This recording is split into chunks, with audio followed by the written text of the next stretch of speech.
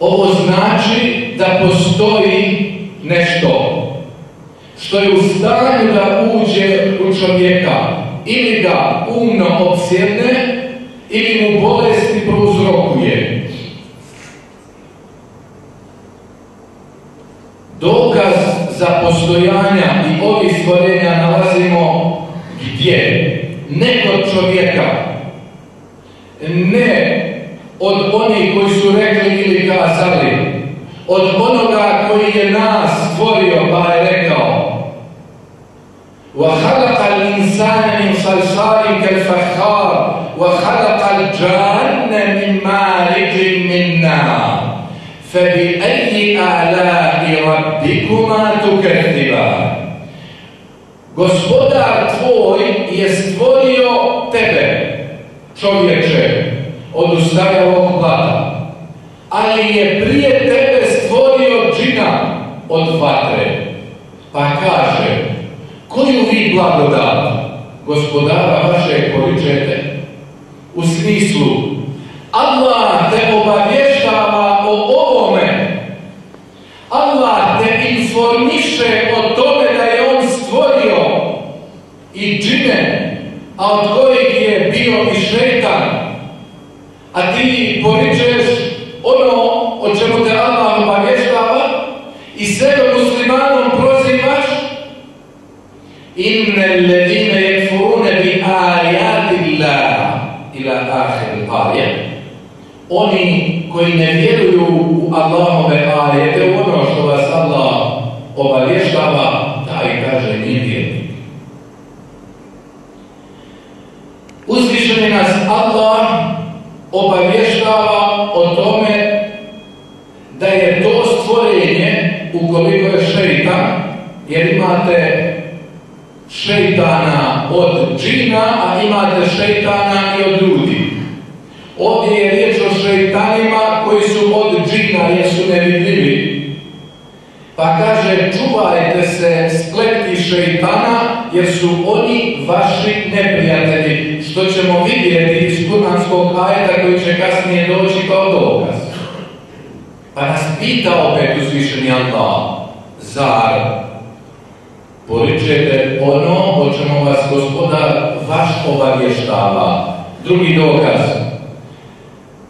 zar najčestitije i najčasnije, najiskrenije stvorenje na kugli zemaljskoj. Allahov Resul, nebi, poslani, odabrani i miljeni, zar bi se bavio foliranjima, zar bi ismišljao onda kad bi se nekome unutar ljudskog tijela obraćao, on je bio nebi, on je bio Allahov odabrani, on nije smio da se varkama bavi. On je bio neko koji je radio ono o čemu je podučeno strane uzvišenog Allaha. A mi opet imamo one ljude koji kažu da su to varanja. Čovjek može biti bolestan, treba se liječiti drugim putem. Ne postoji nešto što može ući u tebe, ne postoji taj šeitan koji ti može naumiti, kažu. I onda se još udaraju po prsima pa kažu, a da si ti vjerni, šeitan ne bi tebi mogao nauditi. Evo kako ne može kaže meni, zbog toga što klanjam, zbog toga što kaže posti, zbog toga što ja u Allaha čvrsto vjerujem. I vjernik kaže, ne može biti napadnut od strane šeitana.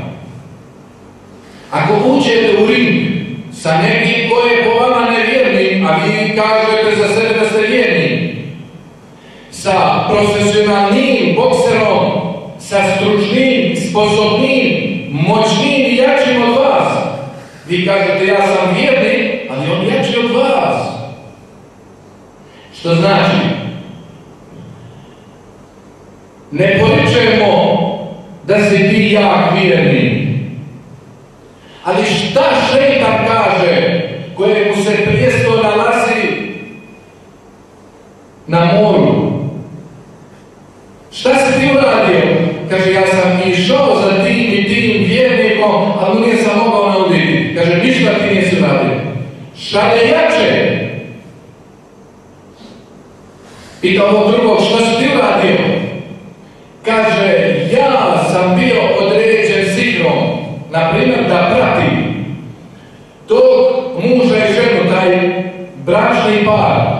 da ih razdvoji. Nisam ih napuštao ni jednog trena dok ih nisam razveo. Dok ih nisam odvojio. Kaže, ti si taj koji zaslužuješ nagradu. S druge strane, svi ste vi čuli za jednog od najeminentnijih učenjaka Hafiza Europe, koji je znao o vjeri o onoj tačci za koju me takneš. Kao da si me pritisnuo ako si njega nešto ne pitao. Na pamet je znao. Kada je odgovarao kuranskim ajetima i hadithima, vam je odgovore uvjerikao. Takav je bio sjednut od džina, nevjernika, odnosno šeitana, do te mjere da mu ni najpoznatiji učenjaci arapskih zemalja nisu mogli pomoći. Hoćemo li se mi tada po prstima da smo mi jaki, da nam ne može dobiti, ne postoji šeitan. Mi smo vjernici, ne možemo nam dobiti.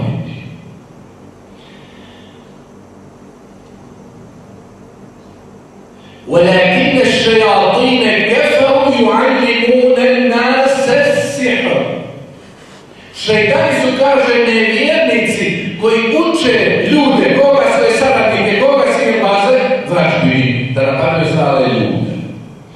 فَتَعَلَّمُونَ مِنْهُمَا مَا يُفَرِّقُونَ بِهِ بَيْنَ الْمَرْءِ وَزَوْجِهِ.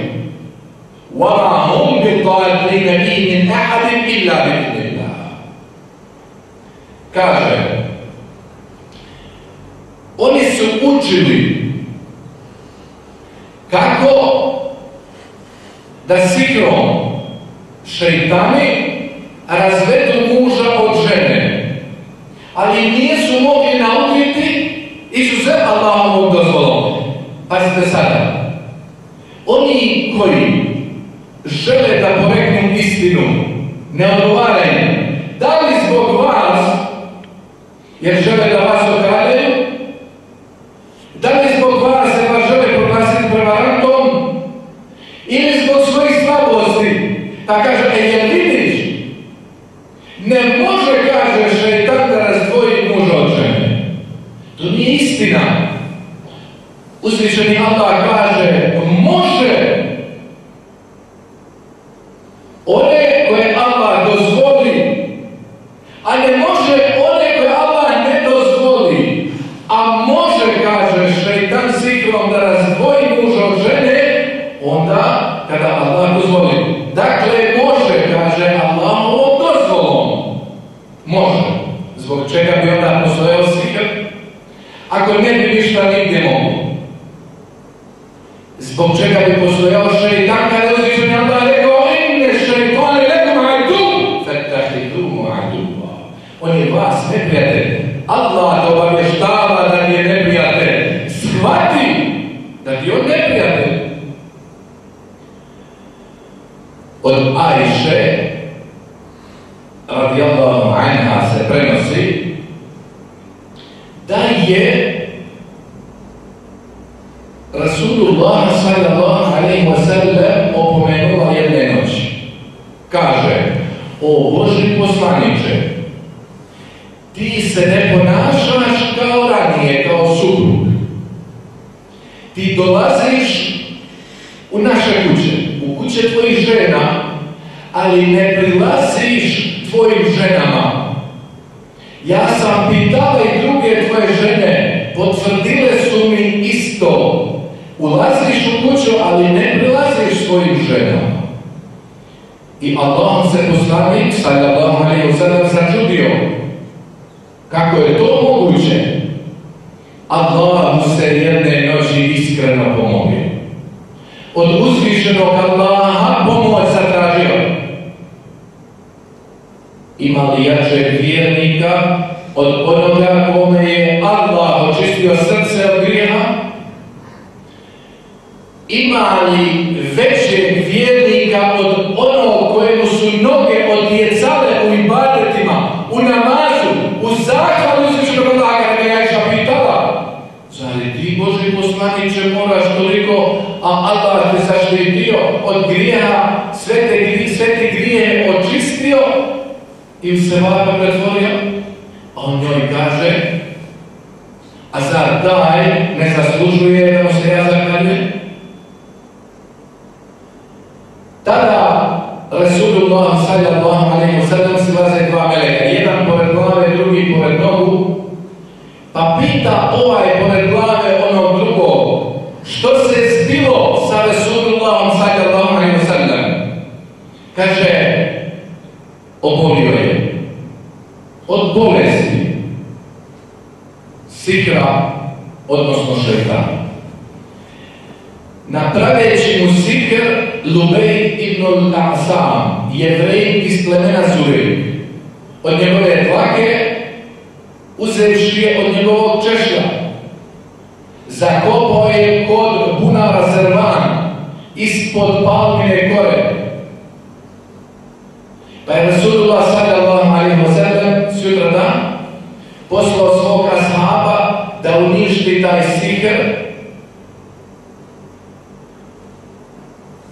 nekim, u nekim predajama da ga je spalio, pa prethodno zakopao, a u nekim predajama da ga je direktno zakopao. Pa je tada, nakon što je otklonio tu bolest od sebe, nemogućnost šeitana da više djeluje na njegov psihu.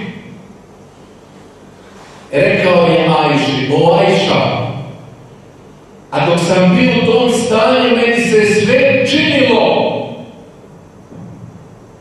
meni se sve pričinjavalo da sam ja vama prilazio, da sam sa vama u postelji bio, da sam vaš muž kao i on uvijek bio.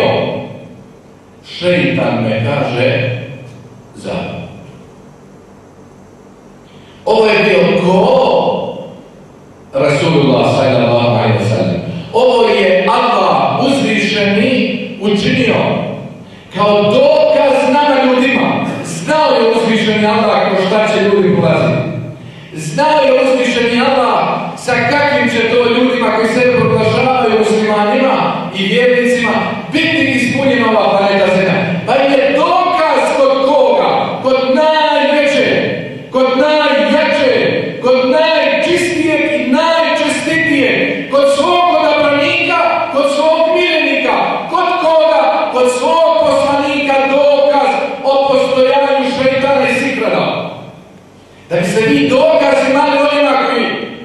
opovrgnu ovo. Da je šeitan napao koga Allahovog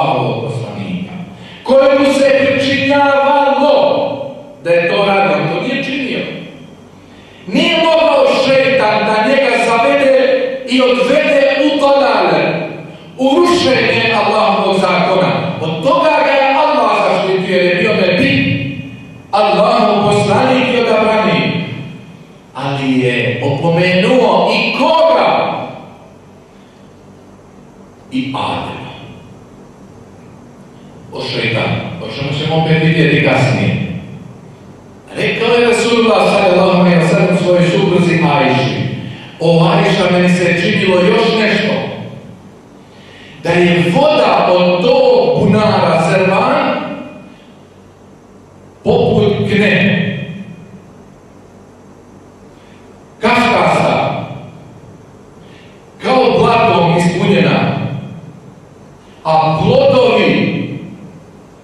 od te palme kao šeitanske glave. Što to znači?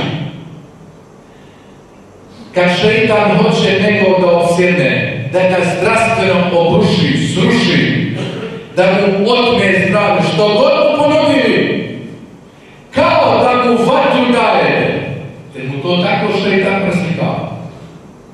Pazite, Rasulullah sallallahu alaihi wa sallam se to tako učinilo. Ovdje je došao slučaj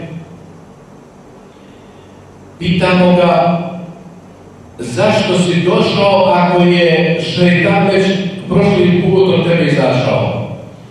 Kaže, zbog toga što te nikad ovako vidio nisam. Bio si sad čudesan, nerazgovjetan.